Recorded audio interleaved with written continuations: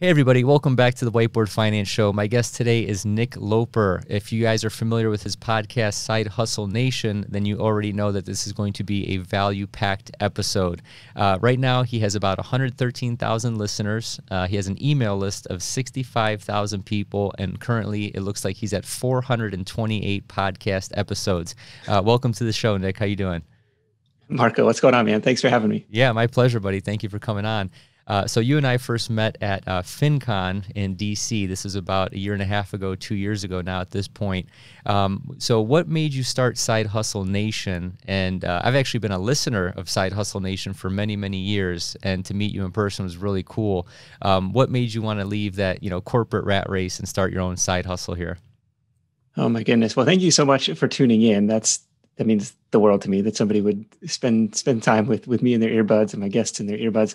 Um, for me, Side Hustle Nation was a side project to the original side hustle that uh, let me quit my corporate job. So it's kind of like a couple layers removed from the uh, from the rat race there. But yeah, I was working corporate, uh, fresh out of college, and could not see myself there for the you know the next 30 years of the cubicle life. or I had no desire to climb the corporate ladder. So it's like, how do I work my way out of this? Uh, the business that I was running at the time was a footwear comparison shopping site. This was um, back when comparison shopping was was more of a thing. Like, hey, you know, uh, 18 different stores sell the same thing, where you can find the best price, what coupons are available, all that stuff. Worked on an affiliate model where, um, in my case, Zappos, Amazon, um, Shoes.com, like you know, these companies would all pay a commission for orders that were sourced through the site.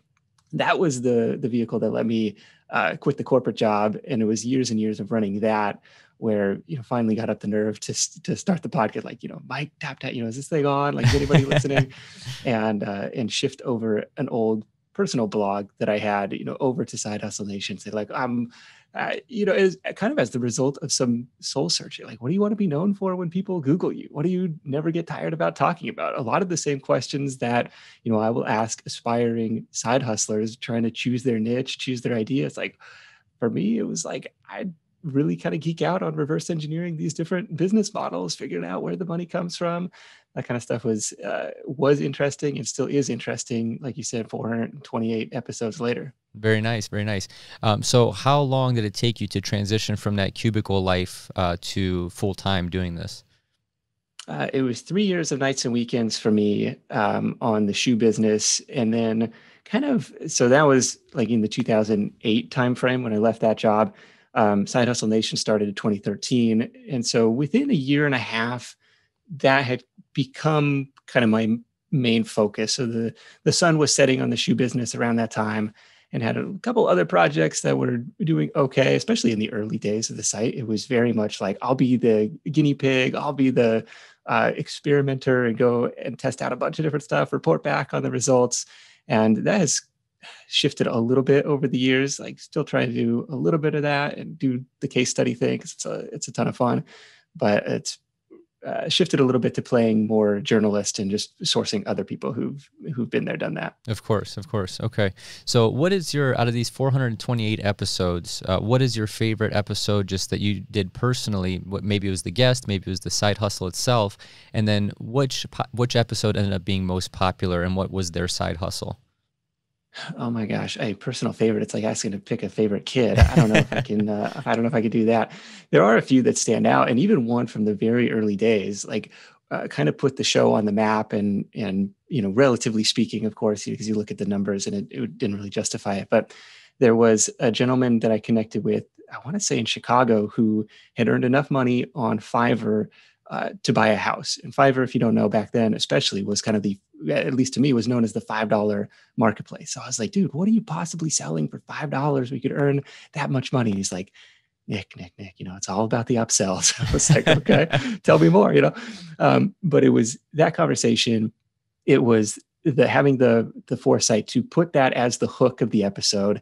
Um, hey, you made enough money on Fiverr to buy a house, like making podcast episodes intriguing, clickable, you know, curiosity inducing because there's an overhead. There's a hurdle to get somebody to get this onto their device, especially back in the early days. I mean, that was my first introduction to podcasting. It was like I probably followed a link from Twitter or someplace, and then I get to the page and there's nothing here.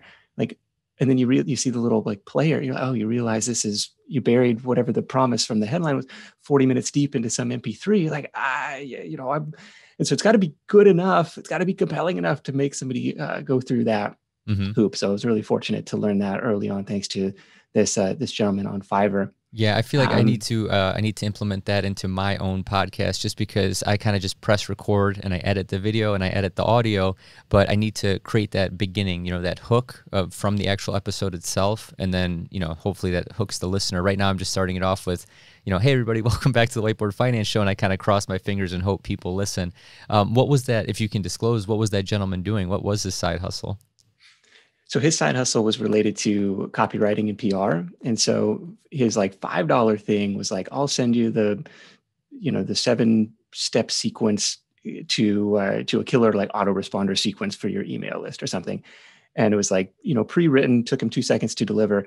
But then uh, if you wanted his specific expertise, like you could buy that in the upsells. I will write email number one for you. I will write email number two for you. And so that's kind of how he had scaled it. And ultimately, I think went on to sell like you know multi-thousand dollar packages through the through the Fiverr platform, which was really wow. which was really interesting. Something I didn't know uh, was possible at that time. Yeah, I personally use Fiverr. Um, the the woman who did my voiceover for the intro and the outro of this podcast. I haven't introduced the intro yet because I feel like it's just maybe a little bit slow, and I want to get that path of least resistance for people to start listening to the actual episode itself. So I've only uploaded her outro, um, but yeah, she she had the whole upsell package as well, and then all the graphic designing for uh, this channel specifically, and then also for like the podcast um, thumbnail. That was all from Fiverr, yeah. and there's a lot of talented people on there. You just need to know how to kind of like sift through it because there's a lot of, you know, there's a lot of junk on there as well. But once you understand like who the real players are on there, you can get a really good um, service or quality product for super cheap. Uh, I think that's pretty cool. Yeah. So, and people who have yeah. tons of reviews and stuff, they've got their processes dialed in, and yeah, it's a it's a good place to find talent. It's also a good place to be found if you are that freelancer or if you are that agency. So we've talked to several Fiverr sellers on the on the podcast where it's like, look, you know, go where the cash is already flowing. It's flowing here. So, you know, I want to put my uh, buy button up for sale here. Absolutely. So, which which episode was the most popular? Was that the most popular one? Because I remember looking, I think it had something to do with like Amazon FBA or something based on your website. I just searched by popularity. Um, do you see okay. that? Do you see that being like a fad, or do you see, um, you know, that still being a thing? The Amazon Gosh, the FBA. FBA. stuff was was hot for a lot of years. Um, I want to say the most popular of all time right now is an episode we did related to drop shipping, where this guy was selling uh, giant commercial bounce houses, which were like you know, these several thousand dollar uh, things. But he started out, he doesn't have to touch the inventory. He doesn't care how big they are, um, but had made relationships with the uh, manufacturers or with the suppliers and said, Hey, would you, would you mind if I could, if I could sell these for you, if I could help find these customers for you, would you ship them to them on my behalf? And you know, he found five or six companies to say yes. And so he built this little drop shipping website. It was called bouncehousestore.com or something. This is a couple summers ago. Fascinating episode. He had a really specific research process that he went through um, to say, like, you know, how many Google searches does this get a month? What does competition look like? How affordably can I buy traffic um, uh, on like Google Ads? you had all this criteria and it was it was really interesting so i think he's gone out and branched into a few other drop shipping stores too because he's like well bounce houses are kind of seasonal so i wanted something to fill in the gaps like in the winter months i was like okay very nice doing really well very cool. So speaking of side hustles, other than uh, Side Hustle Nation, your kind of your baby or your I would call it your bread and butter. I'm just guessing, just because that's where I see you most active on um, you actually ended up selling a other side hustle blog. Uh, I believe it had something to do with virtual assistants or VAs. Can you tell us a little bit about that? Yeah, this was a project that I uh, started actually before Side Hustle Nation. This was like a one of the original side hustles to the to the shoe business, and one of the one of the few that that actually took off. Started you know several projects that didn't really go anywhere. This was a kind of a comparison and review site for uh, for outsourcing services, like Yelp for virtual assistant companies. Was kind of how I uh, considered it, and it operated on a lead generation affiliate model. Um, it was a little bit of display advertising, a little bit of kind of featured listings, taking a page out of Yelp's playbook, out of TripAdvisor's playbook. Well, it's like, yeah, they they'll sell you a featured listing placement at the top of the directory too.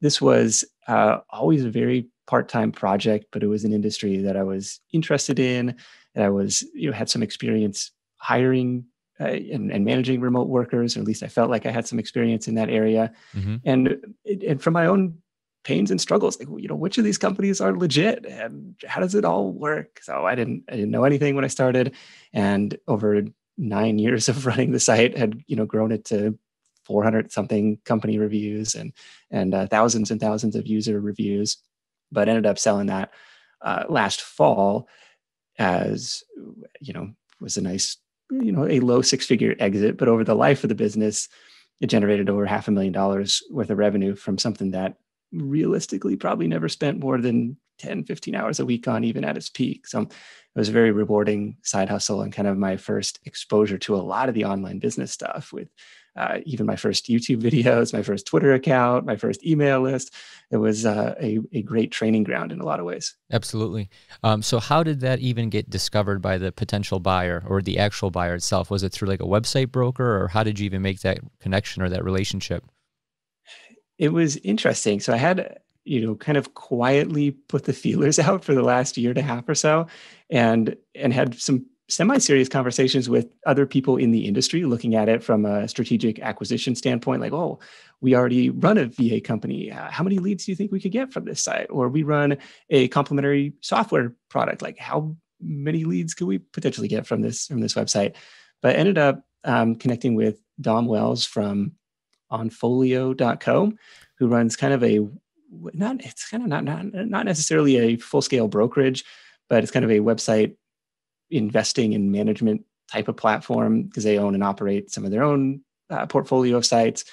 And so there's a button at the top, like connected with Dom on the podcast, actually as part of the same um, uh, side hustle showdown series that you were a part of over the summer. Yep. So we did. So you were on and talking about podcasting versus YouTube, and uh, and I'm happy to see you making the leap to the dark side of the podcasting side. the dark side. Um, but Dom, uh, Dom was on talking about, you know, should I buy a website or should I build a website? And so we had a fun little debate about that. But at the top of Onfolio, there was a button that said, like, sell us your website or sell us your online business. I was like, well, let's just see what happens here. And, you know, he's like, you know, here's the traffic, here's the revenue picture, you know, and kind of like, you know, what do you think? What do you think this is worth?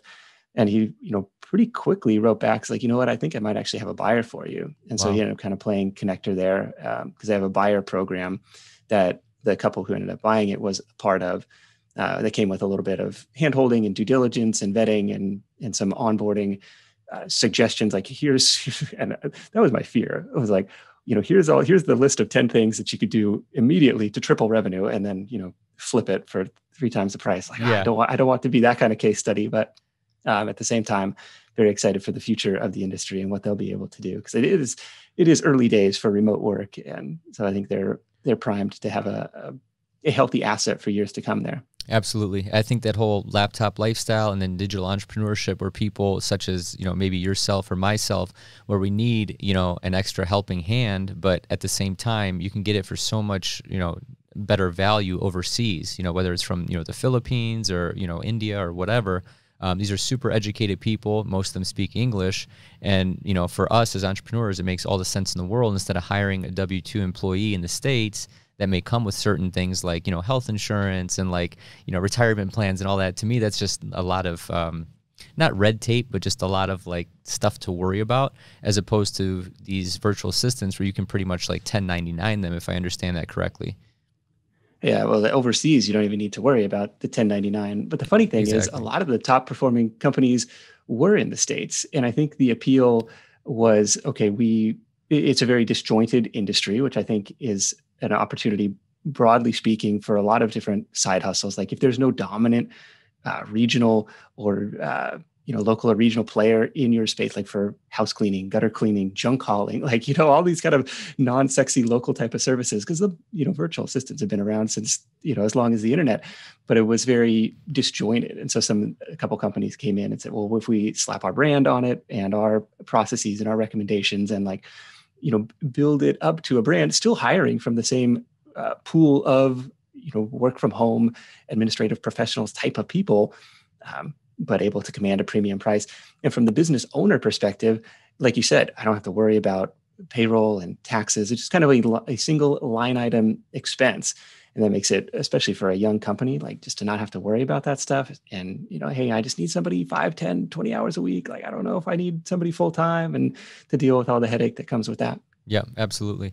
Yeah. So now that you've kind of evolved from, you know, cubicle. I don't want to say monkey, but that's what I called myself. You know, I, I worked in cubicle life my whole life.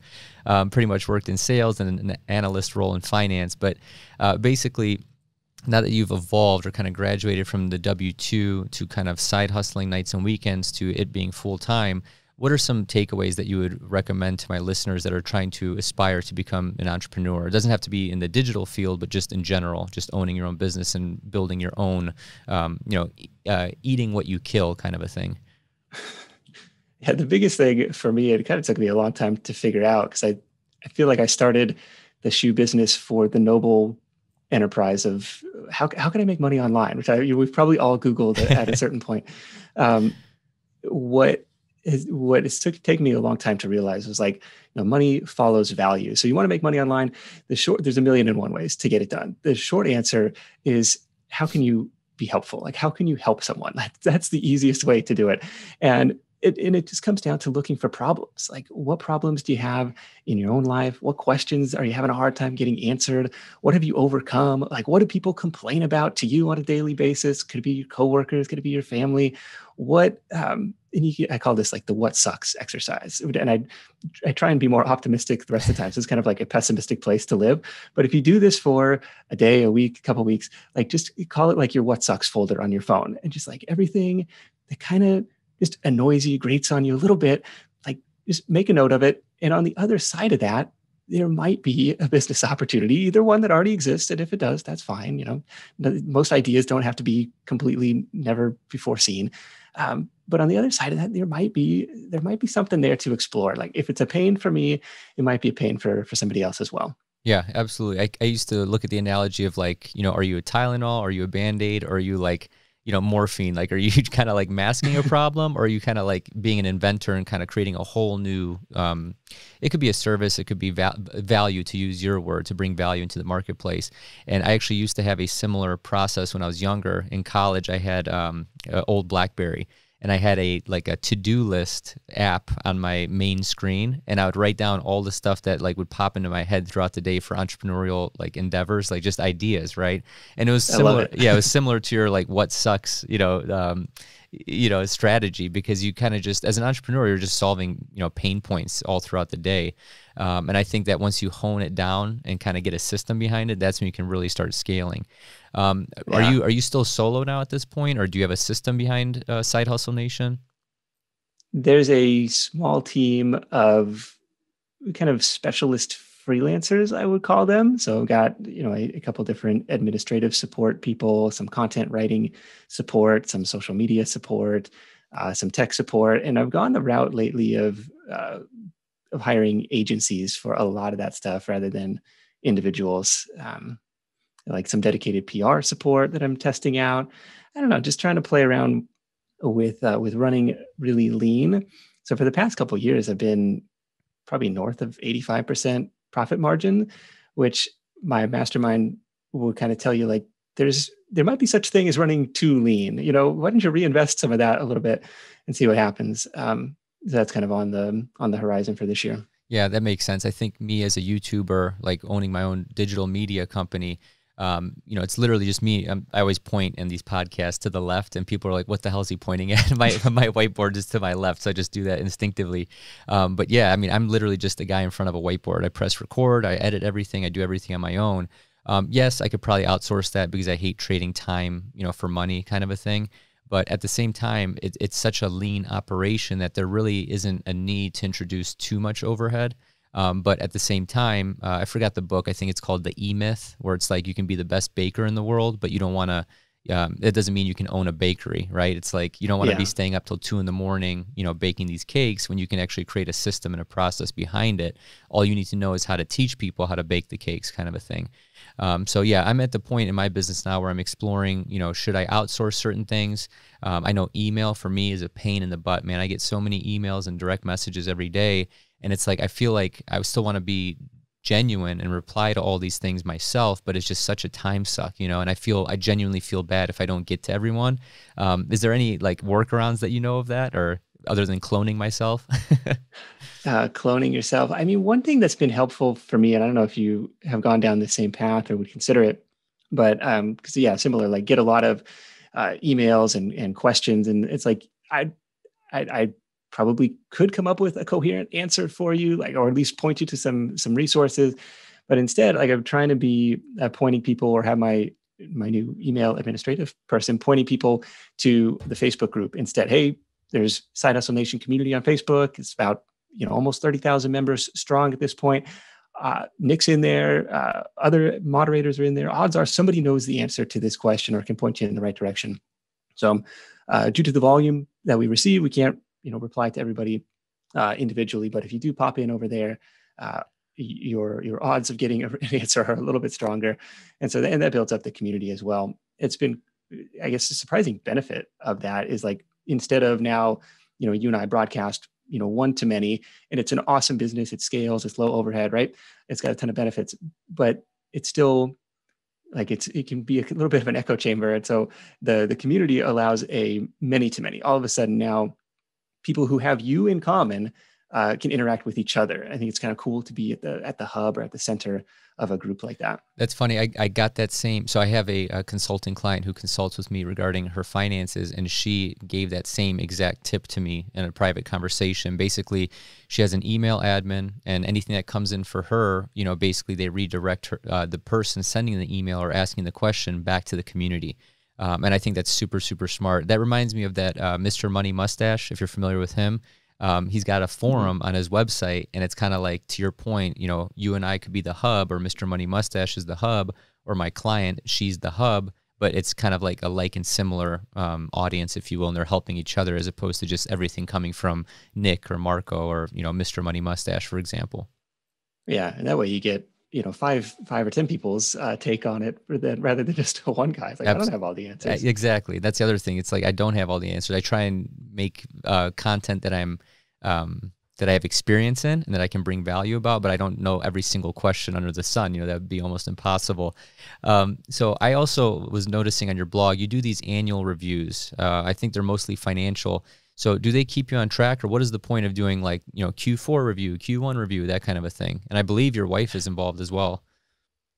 Yeah, well, she's, you know, often a part of what's going on in, in life during those quarters. It's for me, it's a chance to break down what worked, what didn't work, what I worked on, kind of the results phase. And eh, because it's easy for me to get caught up in the day to day and the maintenance, and I got to come up with another episode.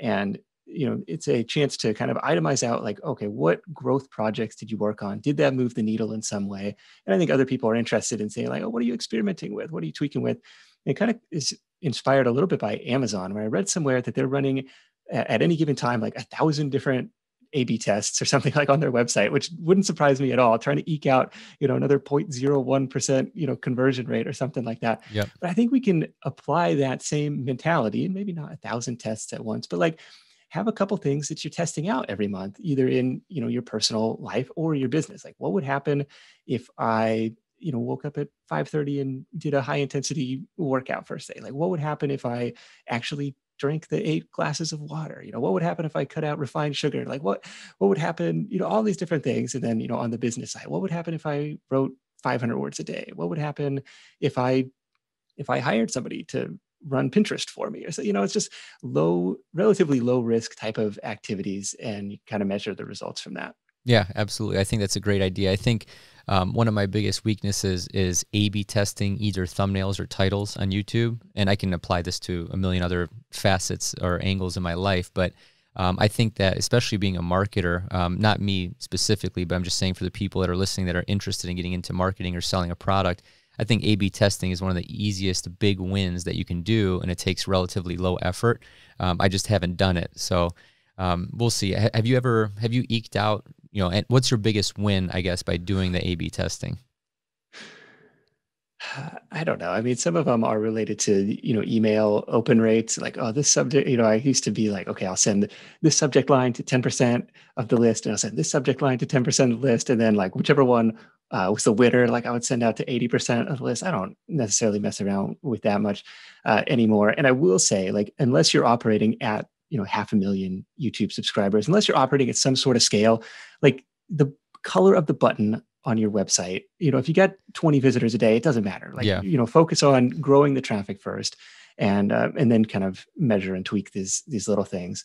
I mean, some of like the personal stuff that has worked is like kind of the like I feel better with that early morning workout. I feel better with this intermittent fasting. I feel better when I, uh, you know, take care of my body by not feeding garbage fuel. Um, so some of those are very clear winners, and it's kind of it's not even surprising. It's like, oh yeah, of course you, of course you do. You feel better when you're not eating garbage. Um, but it's like it's helpful to you know make that mental note when you're faced with that decision when the garbage is in front of you. It's Absolutely. Like, okay, let's, I'm a let's, big. Let's avoid that stuff. Yeah, I agree 100. percent I'm a big fan of what gets measured gets managed, and that's kind of why I do like my um my wife and I we do a monthly net worth check, and this isn't some like okay. deep dive where we take you know two hours every month. This is literally like, hey, you know, want to go grab lunch or we'll make, you know, lunch or breakfast or dinner. It'll take literally, you know, 10, 15 minutes. We talk about some stuff and it's done. You know, it just, it's kind of a quick check, shows us where we're at uh, in terms of, you know, our finances, where we can improve, where we did well, where we didn't do so well. And just measuring stuff in your life, just, you know, it, when you visualize it and write it down, kind of like that what sucks strategy, when you see things written down, it just helps you, you know, attack certain things in a certain way. Um, so you mentioned earlier when that's we a, ta- that's a good uh, metric to manage to uh, to track. By the way, I think other people, sure. um, you know, they have a sense of what they're bringing in every month. Hopefully, they have a sense of what they're spending. But then this end game of like, what are what are we worth? Like, I think that was, um, and it was Mr. Money Mustache that kind of introduced me to that idea. Um, and he was like, well, you, you know, you gotta, it's the 4% rule. You gotta save 25 times your annual expenses. And which for a lot of people is like, I'm never going to get there. Like yeah. it's the world's most depressing stat. But for us, like, you know, we had a reasonably, uh, we had a decent financial ground game. Like we were always savers and lived a relatively frugal life. And so for us, it was like, oh, like that's not like it, it became motivating in a way. It's like, oh, we're, we're closer than we thought. Like if we yeah. don't, you know, uh, you know, fall victim to the inevitable lifestyle creep of, of kids and everything else. But um, it was it was helpful to kind of have that uh, that milestone in mind. Yeah, absolutely. I think it becomes almost like a goal. You know, if you want to whatever it, could be diet it could be a certain weight loss number it could be i want to get six packs abs by the summer you know that kind of a thing uh, it's something to work towards but you're right if, if you are definitely either in lower income or if you didn't come from a strong financial foundation you know you multiply your annual expenses and you're just like dude this is not attainable i can never get there but I think that uh, if you start early, um, I think if I had to guess, the demographic of this podcast is probably similar to my YouTube channel. It's going to be people that are probably your age, my age, and younger, probably to their early, you know, mid 20s when they start getting their first big boy, big girl job and they start making, you know, their 50, 60, 70, $100,000 a year out of college. Um, and they start realizing, oh, okay, you know, I can't get, you know, Starbucks every day. I can't blow money at the, you know, nightclub every night, you know, that kind of a thing.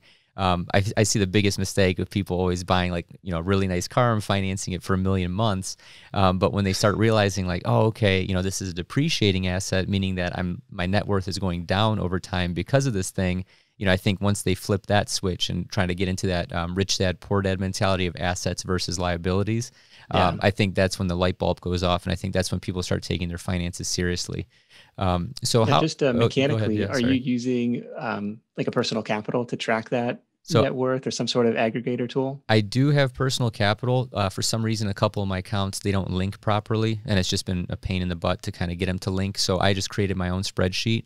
Um, so basically, what I do is I take all of my assets and then I take all of my liabilities. So anything that has value that I own, um, whether it's whether it's stocks, bonds, real estate, you know, mutual funds, whatever, crypto, whatever.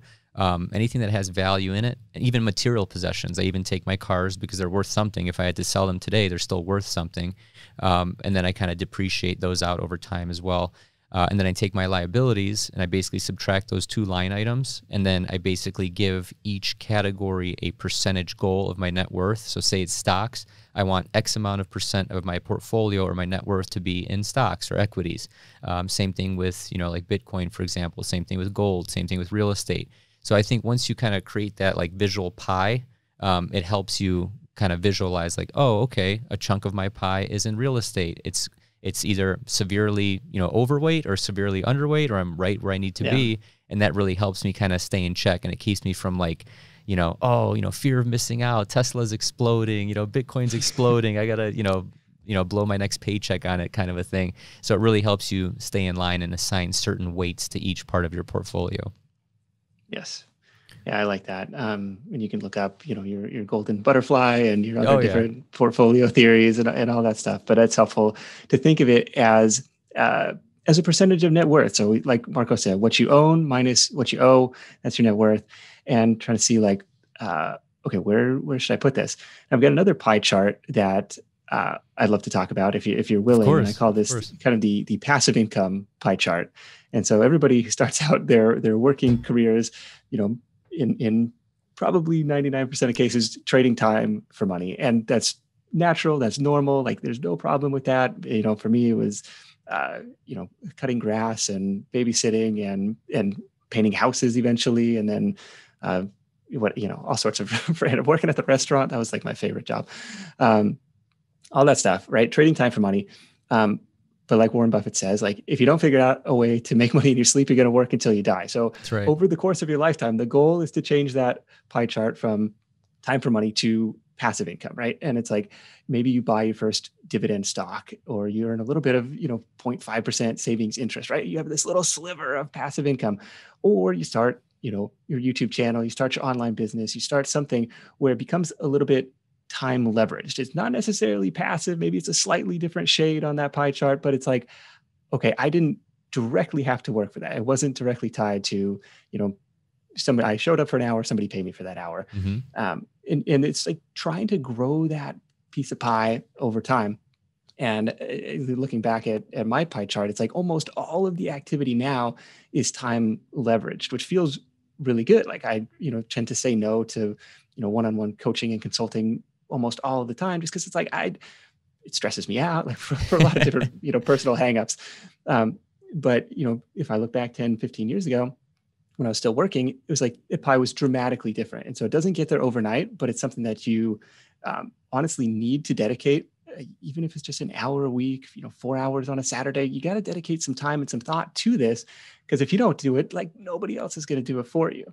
I, I completely agree. And I think that um, once you become either a business owner or someone that understands that when you create these systems to bring in money literally while you sleep, I know that's kind of like the sexy, you know, martini on the beach or margarita on the beach, excuse me. Like I, that's the, that's the allure that, you know, gets people into it.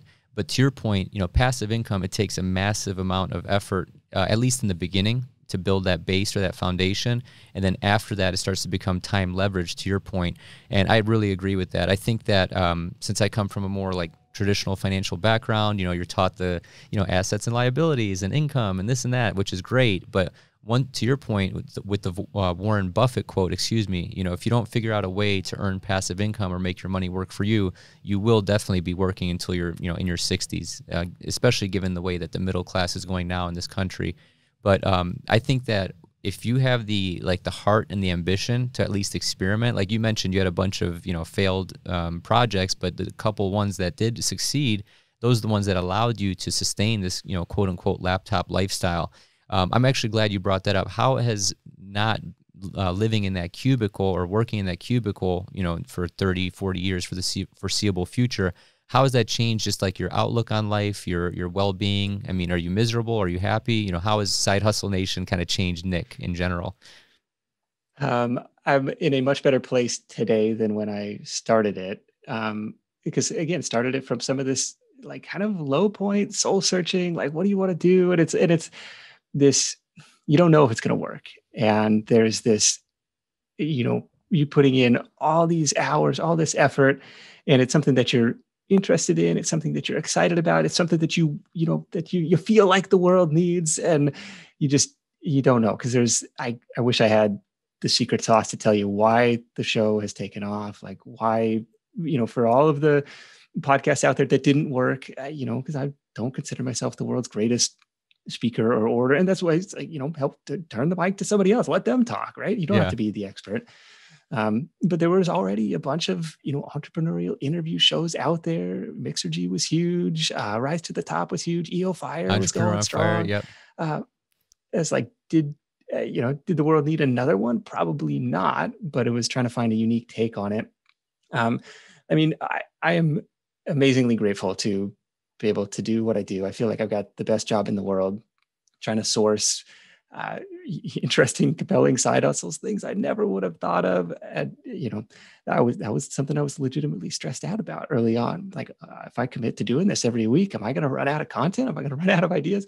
You know, seven years, four hundred episodes later, it's like, no, the well, the well does not run dry. There's a million and one creative ways uh, for people to make money. And it's it's I feel very fortunate to be the guy uh, to get to showcase those. Well, I I, I agree with you 100%. Um, I know why you've been successful, and it boils down to one word. Uh, this is my opinion. It's consistency. Uh, you've been doing this, you know, day in, day out, or week in, week out, you know, for years now. And I remember listening to you. Um, what was I just graduating college or? No, this is probably like mid twenties. Like this was, I think I was like, I started old. no, seriously, I feel old too, dude. I graduated college ten years ago, but I think it's your consistency, and that's where a lot of people get hung up on that start a new business. Um, they either don't believe in themselves, or they lose that fire, or that excitement, or that passion, and they kind of just quit, right? But there's that there's that point to where whatever you know, your channel, my channel, your podcast, you know, my show it just gets to a point where it's like chugging along, chugging along. You know, you see some wins, some very small wins. You see a lot of, you know, a lot of days where you're like, why am I doing this? Why am I dedicating all this time to this? And then all of a sudden something clicks to where, you know, it's not necessarily hockey stick growth, but, you know, it starts to compound on itself almost like an investment portfolio in a way. Yeah. Yeah, totally. I, even after my son was born, and this was early 2016, so it was like three years deep into the show, and he'd go to daycare to be they had it like a daily rate and it was like 75 bucks a day. And i had to look at myself in the mirror like did i make 75 bucks today? Like at some days yes. Some days i was like i i don't know if i did man. I don't know. It's kind of tricky. That's um, funny. so that was tough. Um, are you connected with uh, todd tresidder from financialmentor.com no i'm actually not familiar with him no Okay, so Todd is um, Todd reminds me a lot of my dad. So he's an older guy, um, excellent skier. Like he's got that going for him. Um, what Todd said is, uh, and I'm gonna I'm gonna butcher his quote, but he basically said, like, despite all these failed projects, he had a couple that hit, and that was enough. And so Todd's idea was like the same thing. If you give yourself enough at bats and you keep your downside risk low enough, which you really can do in these types of online business, like it doesn't require a ton of upfront investment. It's almost inevitable that you find something that hits you know as long as you're building something with enough upside right? It's like minimize the downside and you know aim for that big win aim for that three run homer and you're bound to find something. Like he called it you know the law of wealth building and it's like if you if you take enough swings it almost becomes inevitable. And i thought that was really powerful to to frame um, to frame entrepreneurship. It's like, yeah, even if the first thing doesn't hit, okay, what's the worst thing that happened? Hopefully you didn't go bankrupt doing it. You know, try again. What'd you learn from that and, and get going? I'll never forget what my mom said. Um, so I started doing like Amazon private labeling uh, years ago. I was creating these like uh, acrylic bird feeders. They're suction cups. They stick to your windows and I, I private labeled it, you know, almost got like a patent. Like I went, I was going deep down the rabbit hole. I'm like, this is it. This is the million dollar idea you know, you start doing some market okay. research. There's a bunch of other ones out there on Amazon, and I realized it was a race to zero. Meaning, like, if my profit margin per unit was like six, seven bucks, you know, for every bird feeder sold, the top guy in China could literally just, you know, cut his price by four or five dollars, and there goes my margin, right? So, um, I kind of ended my dream there. But to your point, you know, that was a failed project. And I, I remember what my mom said. I'm like, man, I, I spent, you know, like a thousand bucks getting like prototypes and graphic design and this and that and spent hours and reviewing all this stuff. And she goes like, and I was like, oh, it didn't work out. She's just like, what else would you have done? You know, would you have stood on your head? Like, what else? Like, you would you have wasted your time? You know, just like watching Netflix or something? And she's like, at least you tried doing something, and I'll never forget that. And then uh, a couple years after that, that's when I started Whiteboard Finance. Um, to bring it back a little bit back to uh, podcasting versus YouTube, I was actually on your show over the summer um, with the other gentleman who has a pretty big podcast. I forgot his name. I apologize. Um, do you remember who that was? Yeah, it was Jonathan from Choose FI. Yeah, Jonathan from Choose FI. So he's a big proponent of podcasting, and I understood his point, you know, 100%. Um, now that you kind of uploaded your e- episodes to YouTube, I know you're not kind of like an quote unquote active YouTuber, but um, you understand how the game works and how the platform works. Would you do anything differently? Um, would you jump on YouTube in 2006, or would you still, you know, go to the podcasting route? And I guess what are some pros and cons of both? Oh my gosh. Um, so podcasting is definitely this long, slow game. Like Jonathan had mentioned, it's this very powerful relationship building uh, platform where somebody's going to stick around with put you in their earbuds for 40 minutes at a time and do it week after week after week. Versus YouTube is more like quick hits. YouTube is awesome for search and discovery, keyword uh, intent. YouTube has this viral element that podcasting definitely does not. Where, I mean, so I have put a bunch of my episodes up on YouTube with just like placeholder images, and most of them understandably don't do very well. Um, but some of them, like one of them now has over a hundred thousand views, which wow. is insane to me. And it's like that's a hundred thousand people who have discovered this content who otherwise might never have found it, who you know, now are exposed to the brand, exposed to the show, who have the potential to join the email list and it's like you never know where your next biggest fan is going to come from. Your next your next evangelist is going to find you. And so to me, it makes sense to uh, to cast that net far and wide. Um, one thing that I mean is popular now, and I'll probably experiment with, is kind of like the clip format, where it's like answering a specific question to really get granular on that keyword intent or mm-hmm. that keyword search uh, traffic. Yeah, similar to like a Joe Rogan clips kind of a thing. I was actually thinking about doing that for yeah. Whiteboard Finance of creating a whole separate channel just called Whiteboard Finance Clips, and you can kind of highlight little clips either from this show or from you know my main videos. Very cool. So, what are like the plans for the future for the Side Hustle Nation brand? Um, I saw that you're doing you know some TED talks. I always see you speaking at FinCon. Um, is that just a brand building strategy, or are you trying to build something bigger? What's the overall plan for Side Hustle Nation?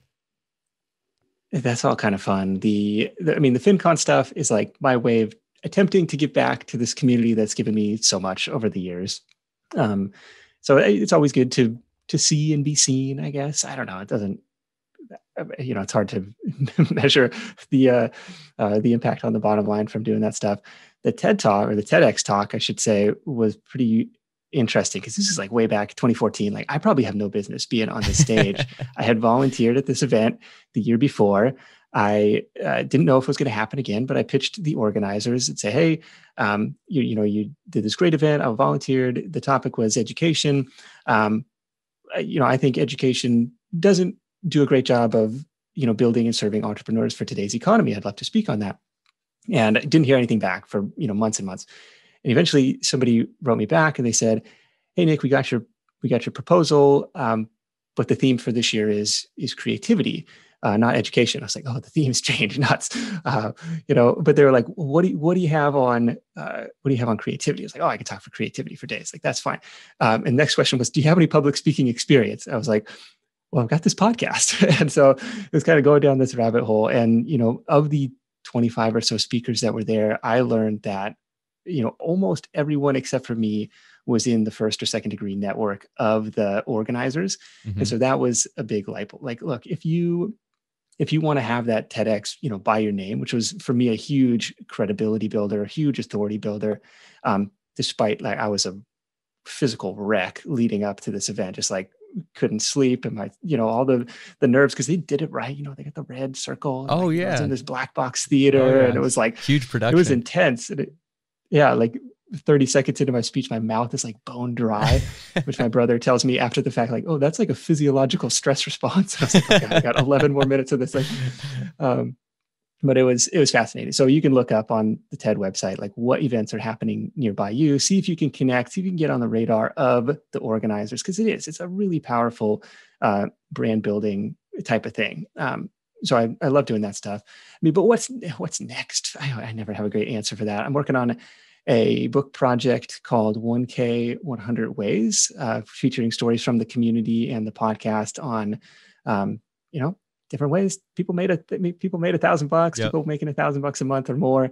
It's um, it, has been a much more challenging project than I thought. I thought this was going to be the easiest book project. You just crowdsource everything, let people fill in the blanks, and it's been like I made the mistake of saying 100 ways early on, and so it's like, well, I got 81 uh, solid submissions, and it's like, okay, now I got 83, and you know, try to fill in the gaps at the end. But that one's uh, that one's been a fun project. Hopefully, we'll get that out the door. Nice. And just trying to keep the keep the show going, playing around with different email marketing stuff, and uh, that's what's going on 2021 that's awesome man. Yeah you always i always look to you for um, not necessarily not necessarily ideas but um, big picture stuff because i like how your blog is structured.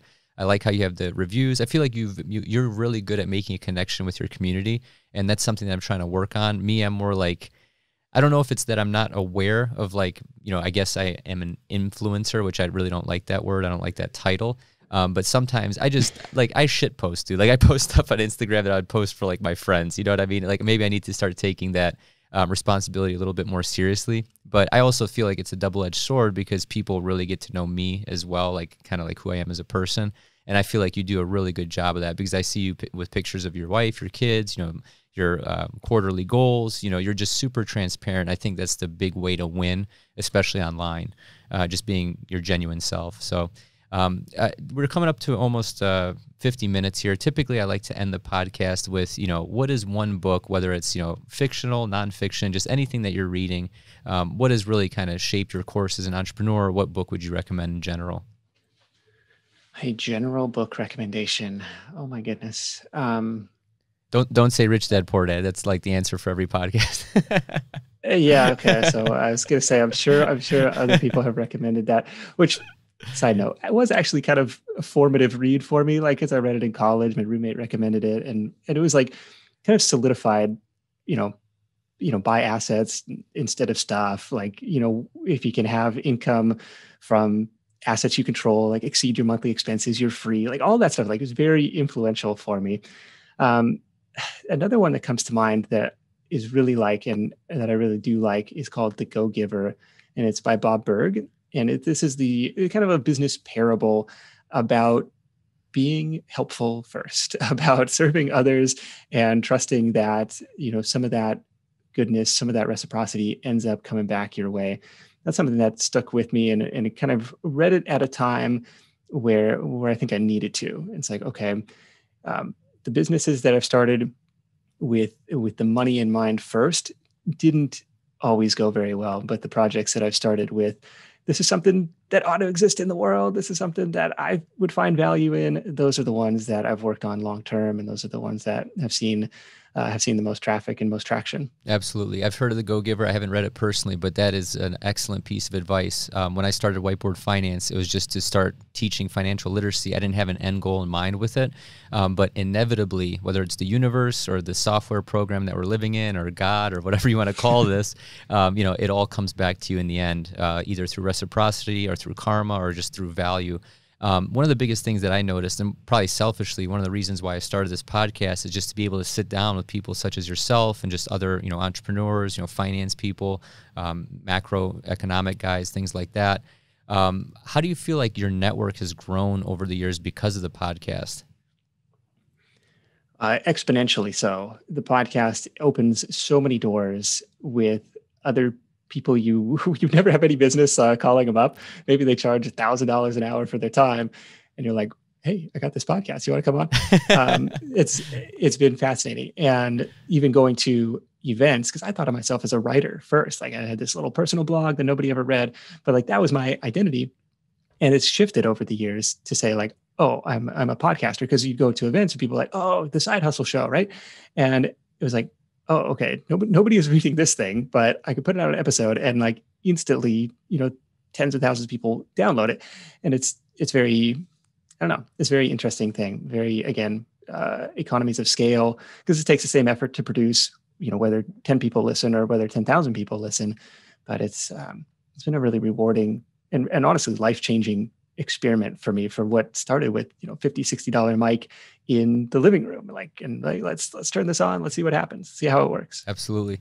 Um, so if you had to start either you know youtube blog podcast what are you starting knowing what you know now? Let's call it five years ago.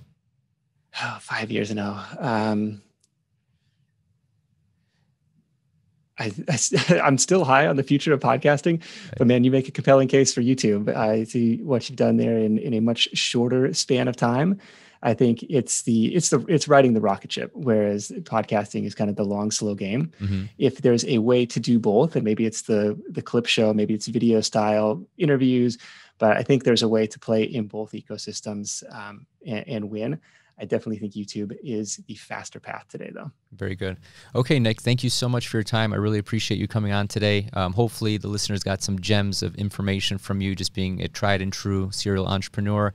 Um, if you want to leave my audience with anything, one piece of advice, and then maybe you know give uh, the audience some places where they can find you obviously your website and blog and podcast um, but what is one piece of advice that you'd give any aspiring entrepreneurs or people that want to get into this space uh, for the future the biggest thing for me is to think like a scientist, think like an experimenter. And the reason I say that is like you're going to have failures along the way. Like as you as you embark on this entrepreneurial journey you know the, the proverbial test tube is going to blow up in your face and that's fine that's normal that's natural.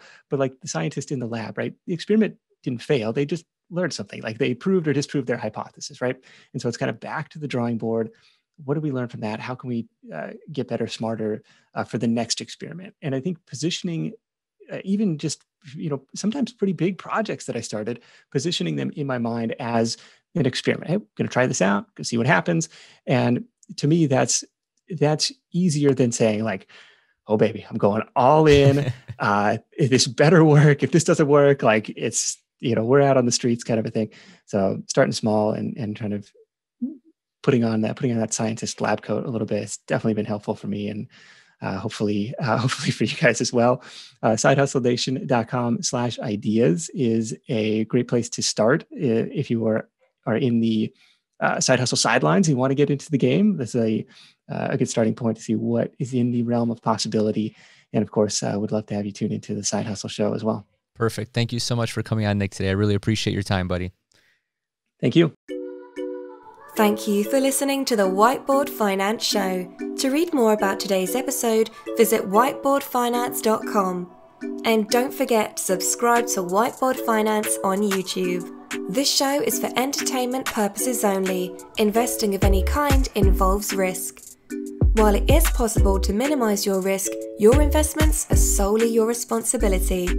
This show is copyrighted by Zlatic Media LLC.